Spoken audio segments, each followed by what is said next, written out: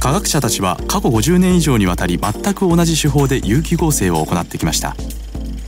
作業の面倒なオイルバスやアイスバスの使用あるいは大きな場所を必要とする循環高温層で反応温度を制御すると科学者に様々な作業が集中しミスが生じやすく時には危険を伴います。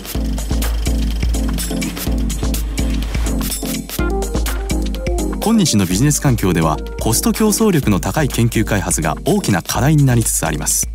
プロジェクトをより早く完了させ新製品を市場に最初に投入するためには素早くそして正しい判断が必要とされます。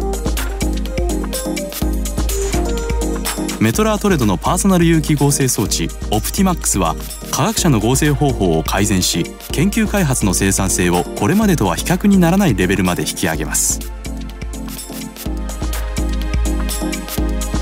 オプティマックスがアイスバスマントルヒーターあるいは循環高温層を不要のものとします。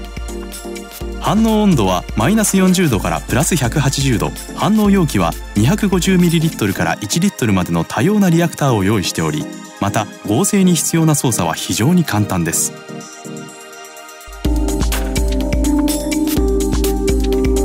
オプティマックスは直感的に操作できるスマートなタッチスクリーンを本体に搭載。取り扱いの説明は不要です。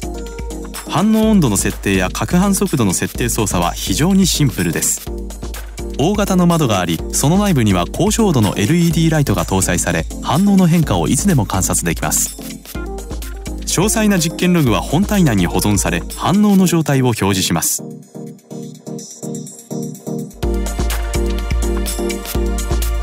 オプティマックスが夜間の生産性も改善します。24時間の連続運転が可能で安全性の設定を含めた合成手順の登録や完全なデータロギング機能が反応を追跡します。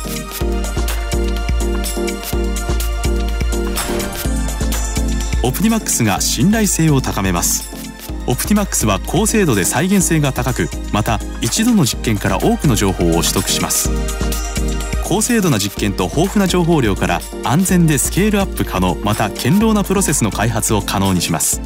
さらにこれらの検討に必要な実験回数を削減することも可能です。メトラートレドは長年にわたり自動合成機を各種ご提供しています。オプティマックスは科学者が開発に携わった科学者のための自動合成機です。多機能で科学者の安全性と好奇心を向上させます。オプティマックス A brand new day